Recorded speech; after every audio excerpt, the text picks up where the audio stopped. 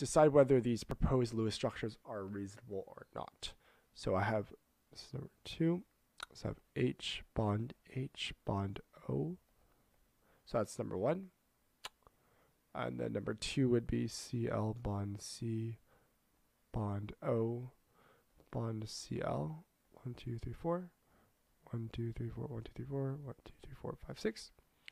Then we have C triple bond O like so. Okay, so say decide whether or not these are reasonable. So we look at the first one here.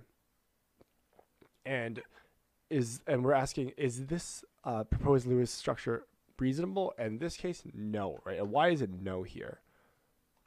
Well, look at hydrogen here. Focus on hydrogen.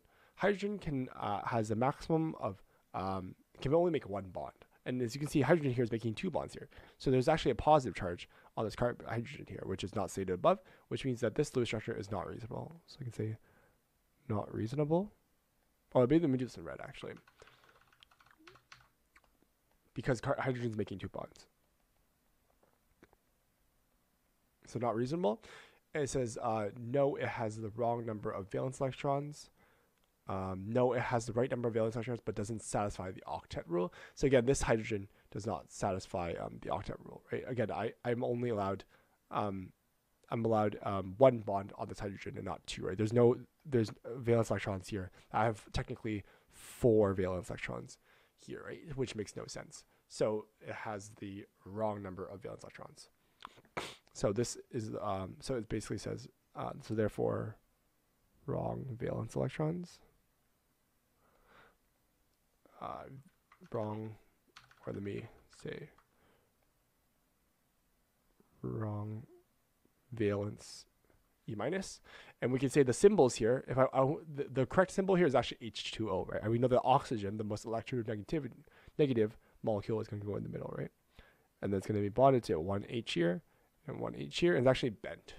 The structure is actually bent. So let me, actually, it actually looks something like this because the, um, the lone pairs are are onto this side here, and this one is the correct molecule here, and this is H2O, right?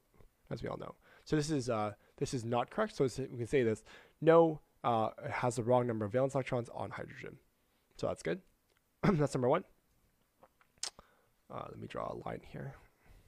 Number two is asking us, okay, what about this compound here?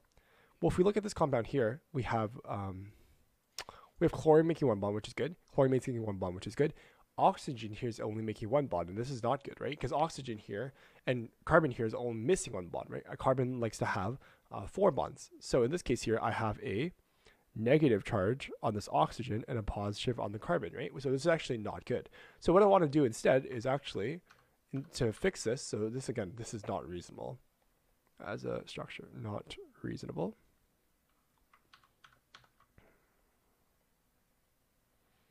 Because I have a lone pair on this on the on this carbon here that's not being accounted for, and this lone pair can actually bond with one of these um, one of these other uh, share electrons with one of these oxygens, right? So I can say that this here is um, this here again. Uh, I have the uh, so it says, it says it's not reasonable. You can say um, it has it does not. Um, again, it has the wrong number of valence electrons, right? In this case here, I have Actually, no, it has the correct number of valence electrons, but it doesn't follow the octet rule, actually. So it does not follow the octet rule in this case. Um, does not follow octet rule. Because again, I have these two hydrogen, uh, valence electrons here. And the correct structure for this guy here would be, I have Cl here, bond C here, bond Cl. And this would be a double bond bonded O here. And this here would be, I have two lone pairs on this side. One, two, three, four, five, six. So one, two, three, four, five, six. And this would be the correct structure because again, carbon now has four bonds, which is great, and oxygen has two. So this is the correct structure here for this compound. So again, this here is also incorrect. And finally, the last one here, I have carbon triple bonded to an oxygen here. And uh, this guy here would be, it would satisfy actually this, uh, this compound here. And the reason why is that I have again, carbon could make four bonds here, but instead it's only making three. So I'm missing um, I'm missing one here, which is fine, but it's indicated by this lone pair here.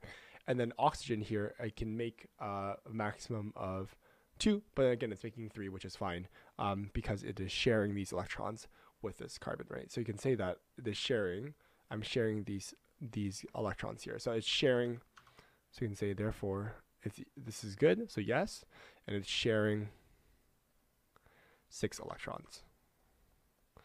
So the six electrons on carbon and the six electrons on oxygen are sharing. So therefore, I have lone pairs here, which actually um, they actually cancel as a dipole. So this here is actually a linear molecule here. So this is good, and this is simply just carbon monoxide, right? So this is a proposed structure, which is good. Um, and again, the solution does not tell us anything here.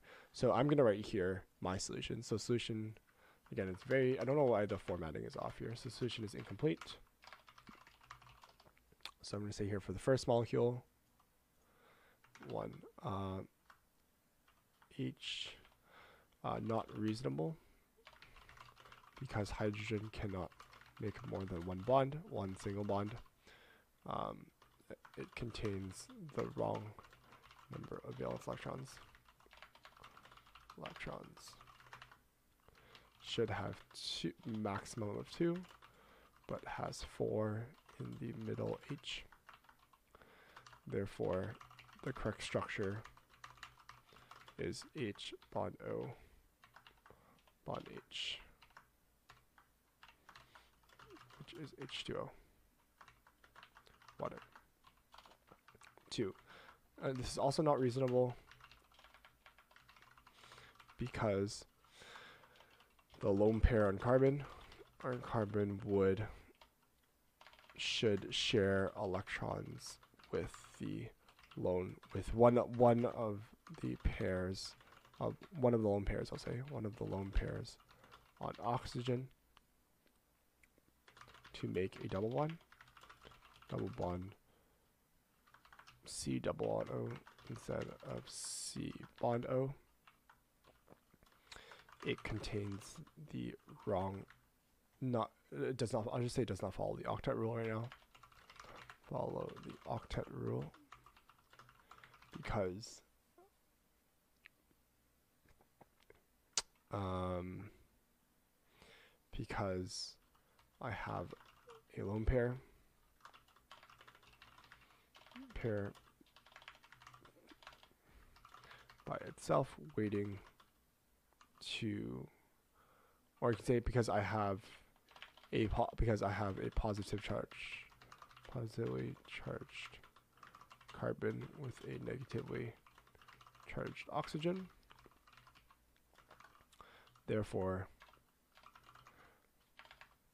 the correct structure is Cl bond C bond Cl and there or Cl bond the correct structure is or I should just say would contain a C double bond O instead of a C bond O here.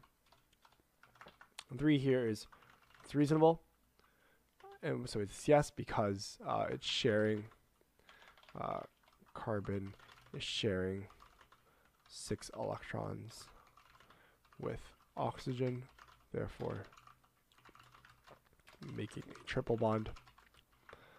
This is the correct structure for CO, which is carbon monoxide. So the solution is incorrect because again, I don't see any solution here, but I'm going to write my own solution as well.